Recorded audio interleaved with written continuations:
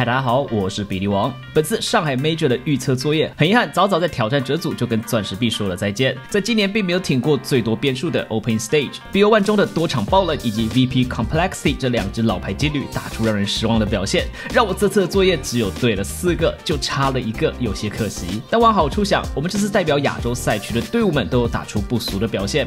FlyQuest 在 BO One 中拿下了 Big 跟蓝星，RA 也战胜了 Fnatic，甚至蒙古队以碾压的方式支取三胜零。败，总共四张地图，对手全部加起来只拿下了十五分，这表现真的是非常的夸张。那比赛还在进行，有始有终，作业继续做。今天就来跟大家分享一下我写传奇组作业的思路吧。What about the quality? Try it yourself, Gringo.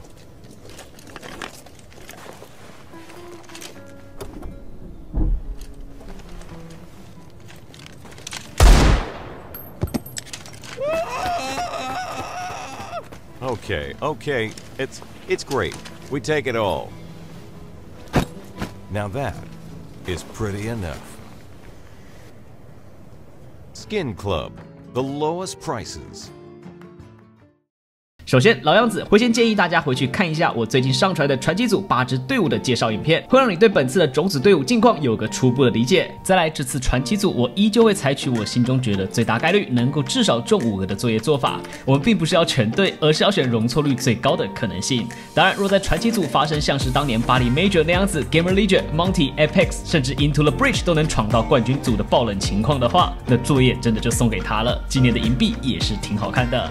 那这次在选择队伍之前，我们先来瞧瞧第一轮的对局。而第一轮的对局之所以重要，是因为这是我们唯一有的参考资料。后续的对局真的会因为一场爆冷而全盘乱，所以我认为是不需要去做推演的。而有了这个作为参考后，我三杠零的选择目标就会是选择整体实力够强的队伍，且第一轮的对手相对较弱，那自然会是在 Vitality、Spirit、Mouse 和 Face 之间去做选择。因为我认为他们都是有能力三杠零的队伍，且第一轮的胜率应该都在六成五以上。最终我会。选择放小蜜蜂以及绿龙 Team Spirit，其中小蜜蜂的选择很直觉，第一轮的对手是已知对局中实力相差最悬殊的，并且他们本身就是属于本届的三大强队之一，三杠零的可能性本就最高。而 Spirit 的选择就是单纯我个人的偏好，认为他是这三支队伍之间最有机会挺过前面 BO One 的。当然你这边要填 Mouse 也是可以的，他们近况火热，MR 也是三胜零败晋级 Major 的，唯一要担心的就是在有观众的线下赛事中，是否场馆恐惧症会再次上演，就看你自己的判。断了。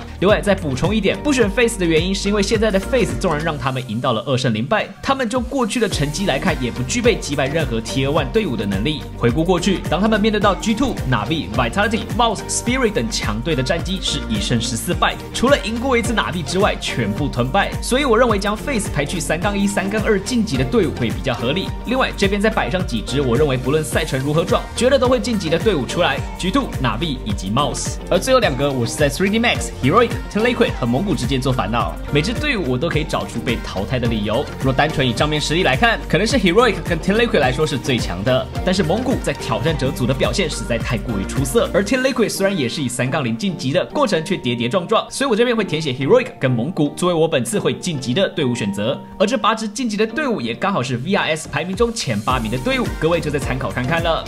最后再来到零胜三败的队伍选择，第一个选择就是 Wild Card，也同样是我在挑战者组选为零杠三的队伍。没想到他们这么能打，居然能闯入到传奇组，还把我当初看好的 VP 给淘汰掉了。指挥 Stand Slow 的回春枪法真的是让我相当惊艳。但我认为这支黑马队伍的旅途到这里就结束了。另外一支队伍我会选择 MIBR，这支我认为有潜力，但在挑战者组中表现相较不稳的队伍。以上就是我这次传奇组的作业，我有多花了一些时间分享我自己填写的思路，大家也可以在留言区分享自己的看法。而我自己还是希望不要再明灯了，至少先力保金牌吧。那我是比利王，我们冠军组预测见，拜拜。